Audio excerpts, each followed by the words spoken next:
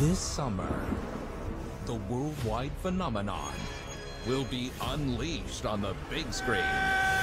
A dog? You're in shock, so I'm not gonna take that personally. Time for a little more power! Paw Patrol at work.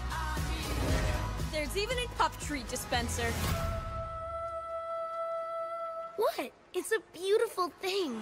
Paw Patrol, the movie.